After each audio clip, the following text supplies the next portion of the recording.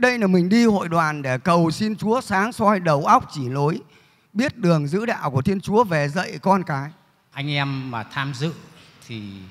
cũng chỉ là ghi cho nó đủ tên đủ tuổi, đánh chống ghi danh. Có nhiều khi là cứ ca thán là cha xứ không quan tâm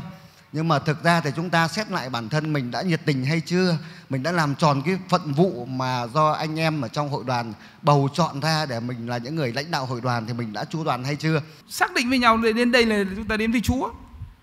Nhưng mà nhiều khi thì đức tin chúng ta yếu quá nên chúng ta vẫn cần phải cái sự khích lệ động viên của nhau. Nên là chúng ta mới vào hội đoàn. Mục đích của hội đoàn là giúp cho chúng ta chúng ta thăng tiến.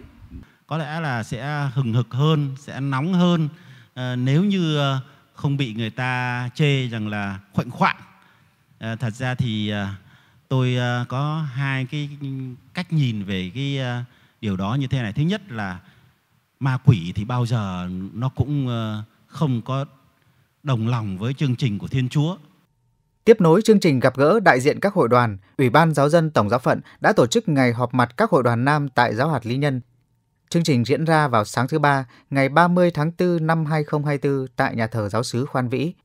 Sau phút khai mạc, cha đặc trách Ủy ban Giáo dân Giáo hạt Du Xe Nguyễn Văn Hữu giúp các tham dự viên ý thức hai mục đích chính khi tham dự hội đoàn là thánh hóa bản thân và làm việc tông đồ. Cha mời gọi mọi người hãy cố gắng duy trì nhịp độ sinh hoạt đều đặn trong các hội đoàn mà mình là thành viên.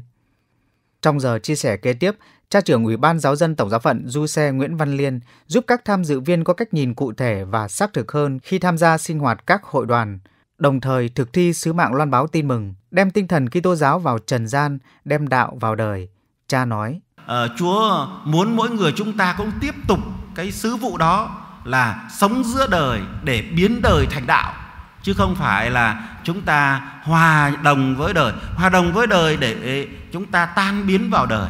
mà chúng ta phải à, thực thi cái trách vụ là men là muối là ánh sáng để ướp mặn cho đời để biến đời thành đạo ướp cho đời khỏi ôi thiêu và thắp sáng cho đời để đời nhìn thấy cái chính lộ để mà theo. Đấy là sứ vụ của mỗi người chúng ta. Vậy thì vào hội đoàn không phải chỉ là để cho cá nhân mình nên thánh đương nhiên rồi nhưng còn phải có một cái trách vụ hướng tha để giúp mọi người cùng nên thánh.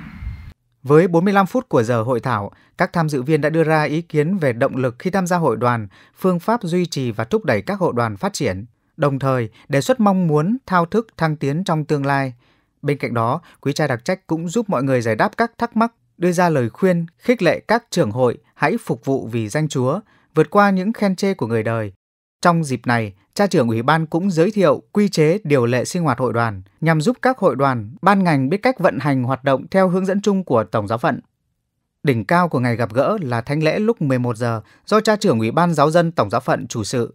Các tham dự viên và cộng đoàn phục vụ hiệp thông trong ý nguyện xin Chúa thánh hóa hoạt động của các hội đoàn, ban ngành trong giáo hạt, ngày thăng tiến trong đức tin và trổ sinh hoa trái tốt lành cho công cuộc truyền giáo. Cùng với tâm tình tạ ơn, trước khi kết thúc thánh lễ, đại diện các tham dự viên có lời cảm ơn quý cha và các ban ngành, hội đoàn giáo sứ Khoan Vĩ đã tạo điều kiện và chuẩn bị chu đáo cho ngày hội ngộ.